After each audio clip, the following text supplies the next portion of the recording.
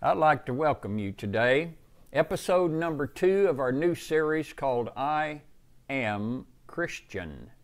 I Am Christian.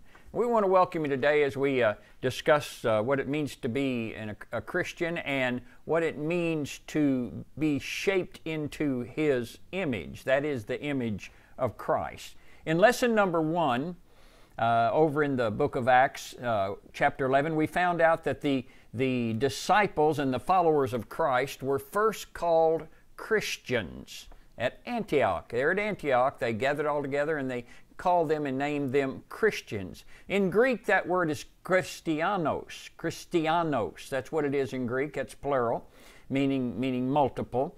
But if you look into the actually what that name was in Greek, they called them the anointed ones.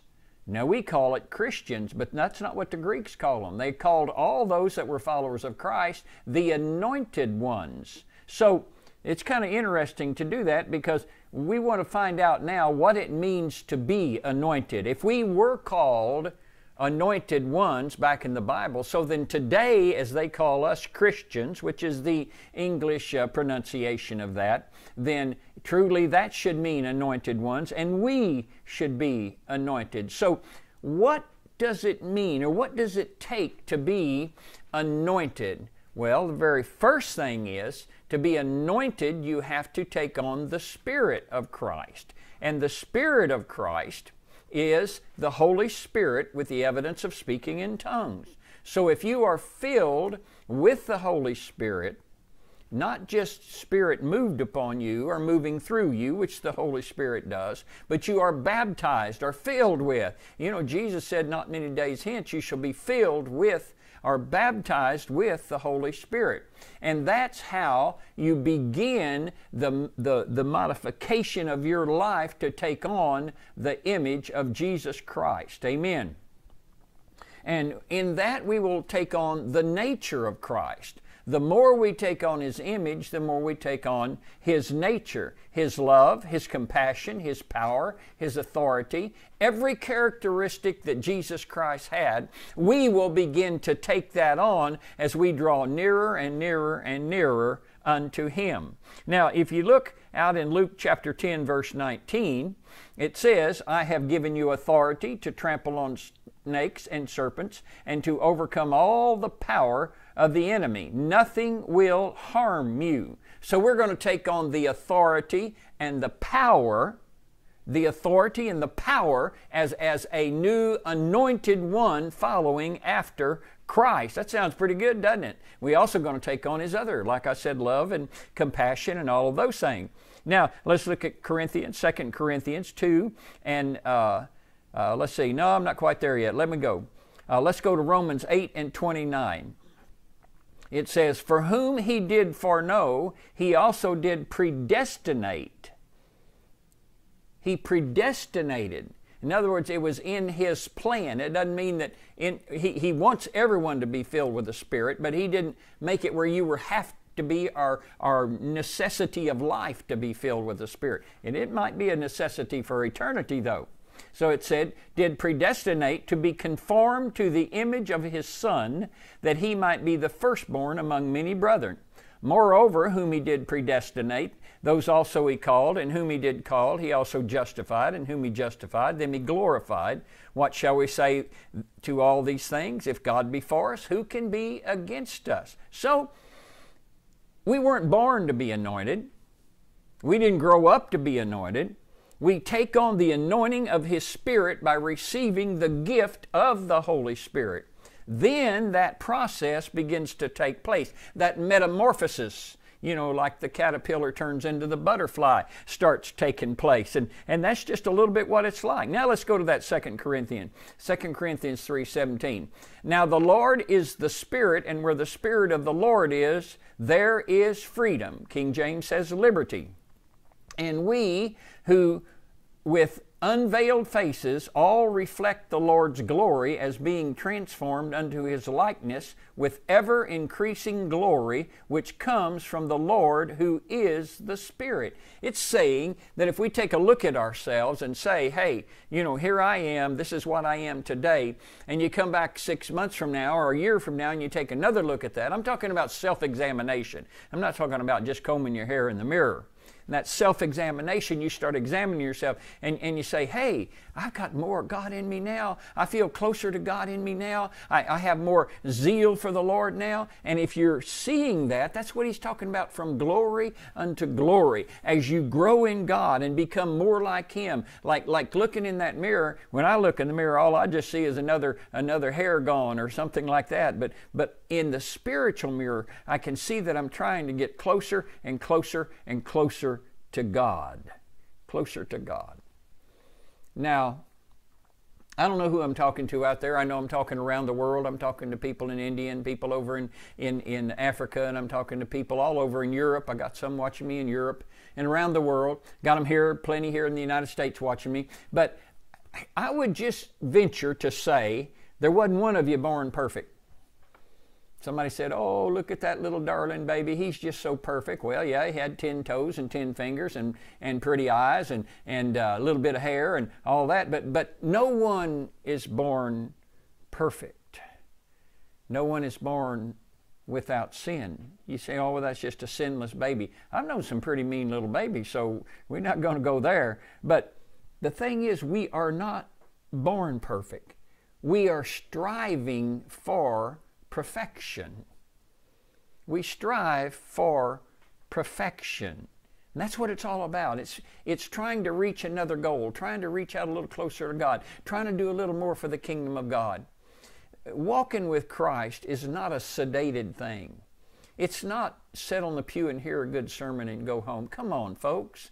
If that's all your relationship with God is, then you're missing out on some of the greatest things in the world is having that intimacy with God and that time where you talk to God and God talks to you. And in all of that, and when we establish that relationship, God carries you a little further and a little further and a little further, and He reveals more to you and shows more to you.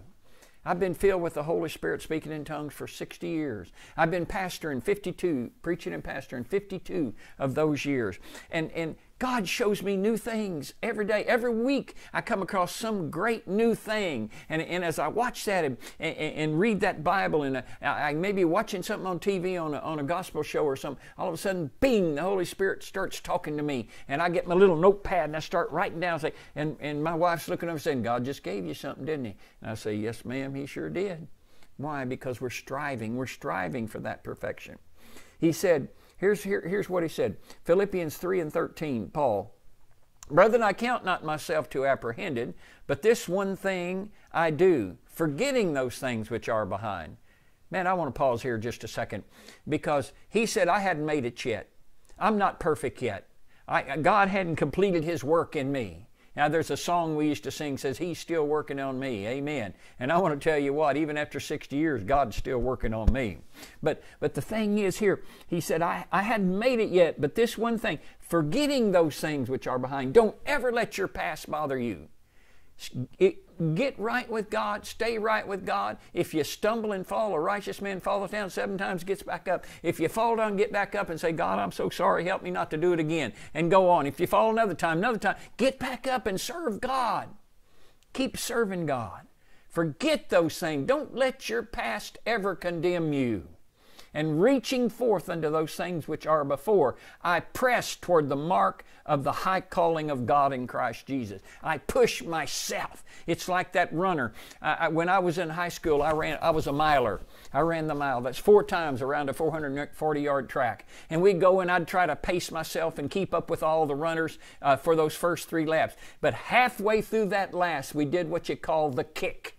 And you put it into high gear, and every ounce that was in you, you ran that last 220 yards with everything. Sometimes you'd fall across that finish line and you would collapse into the cinders on the track. Amen. Because you had just given everything you had, and that's serving God. I press toward the mark of the high calling. I do everything I can in my power to reach that place, which is the high calling in Christ Jesus. Amen. When we receive the Holy Ghost, we take on a dual nature. I said we take on a dual nature. Now, Jesus had a dual nature. He was fully God, he was fully man. He was God when he walked on the water. He was God when he said, Peace be still, and it did. Amen. It was God when he started taking the bread and breaking it all to pieces. It was the Spirit of God working through him, for in him dwelt the fullness of the Godhead bodily. But he was also man. He was man when he hungered. He was mad when he man when he slept in the back of the boat because it was wore out. He was man when he suffered in the garden and said, Father, please let this pass from me. Nevertheless, let thy will be done. That was man crying out. But it was God that was in him, for in him dwelt the fullness of the Godhead bodily. Let me, let me read you a real quick thing. This is from Romans chapter 7 and verse uh, uh, 15. I'm going to go through this fast. It says, I do not understand what I do, for what I do, uh, for what I want to do, I do not. But what I hate to do, I do.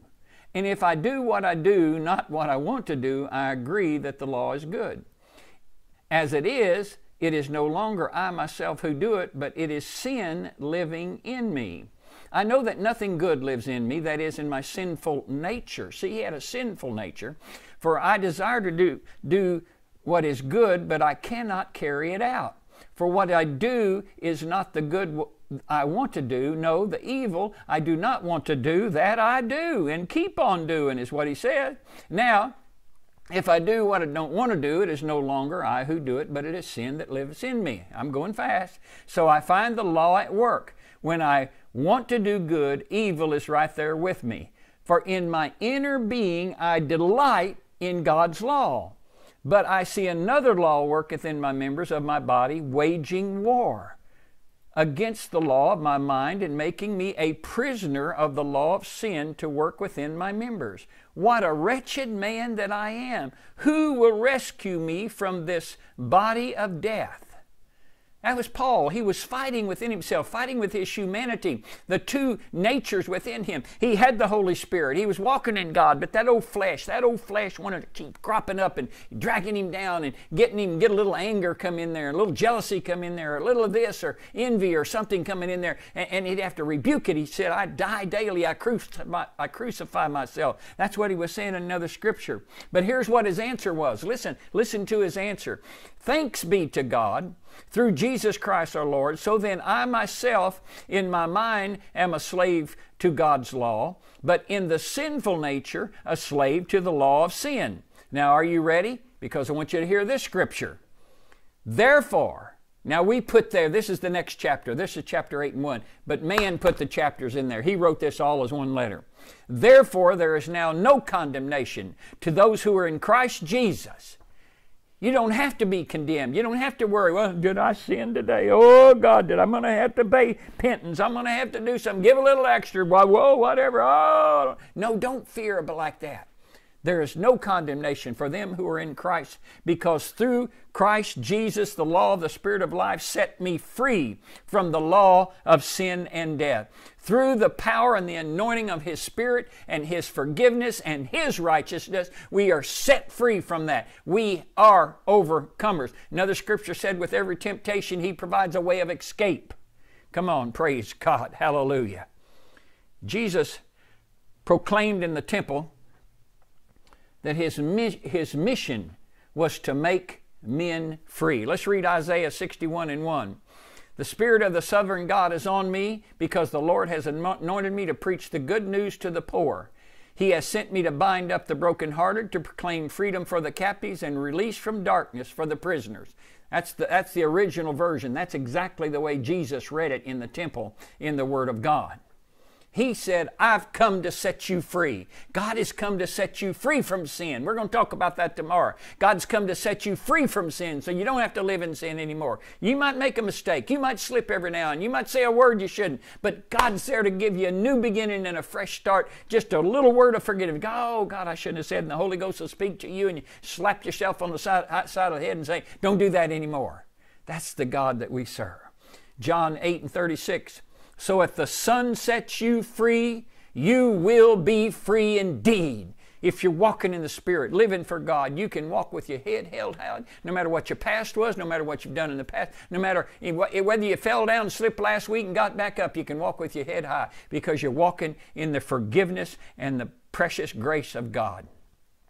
So as we walk in the Spirit, we keep out the fleshly man. We keep that fleshly man under control. As we walk in the Spirit, we keep that fleshly man under control. As we do that, we are changed. I don't know about you, but I got a picture on Facebook. Yeah, I don't look like that anymore, just tell you honest to God truth. And that wasn't all that many years ago. That picture taken probably about 15 years ago, and maybe a little more than that. And I don't look like that anymore. I don't nearly have that much hair anymore. But we are changed, but we're not talking about a physical outside change. We're talking about a change in here. As we walk with God, we are changed.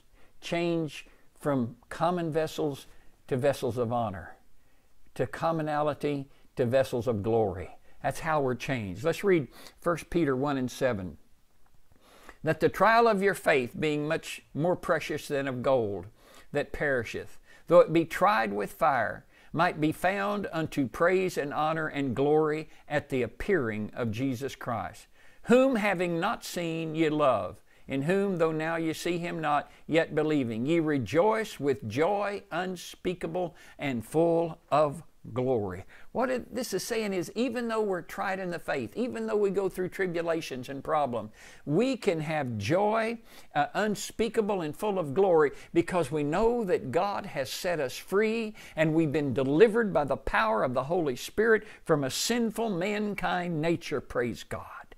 And then in 1 Timothy 2 and 20, but in a great house there are not only vessels of gold and of silver, but also of wood and of earth, and some to honor and some to dishonor. If a man therefore purge himself, if a man purge himself, it didn't say God's going to come down and smack you on the side of the head and pull all the sin out of you. Didn't say that. A man through repentance, turning away from sin, that's part of what we talk about tomorrow. From all of that, if a man purge himself, from these things, he shall be a vessel unto honor, sanctified and ready for the master's use, prepared unto every good work. Changed from one image to another image, one image to another image. As you walk with God, as you go with God, as you draw closer to God, all of a sudden you're going to hear somebody say down the road, Hey, that guy is really a Christian. You know, want to know why they're going to say that? They're going to say that because you have become an anointed one. That's where we started. Remember that? Christianos. The anointed ones. Cristiano is, is the singular. He is a Cristiano. Praise God. Hallelujah. The most beautiful thing in the world when someone will come up to you and say, You're really a Christian, aren't you? Yes, praise God, God saved me, and I can have a testimony I can do those kind of things. Praise God. I want to take this moment. Tomorrow we're going to talk to you about how to know a true Christian. And right now, I just want to pray for you. I want to pray for you that God would help you and lead you and guide you, that you could take on the very image of Jesus Christ Himself. And we are, never forget, we are sons and daughters of God, and we are the image of Christ in the world today. Father, I thank you for allowing me to preach to the world. I thank you for letting me reach all those that are listening today. I pray for them. I pray for them around the world as they send me requests. I'm praying for them, God, that God, you'd touch them, lift them up, supply their needs according to the riches of glory. And now I pray today, God, that you would mold them and shape them into your likeness so that when they walk through the streets of their cities or, or into the supermarkets or, or into the marketplaces or wherever they go on their job, people would see them and know that they are really true, truly, truly, truly an anointed one, a follower of Jesus Christ. God bless you.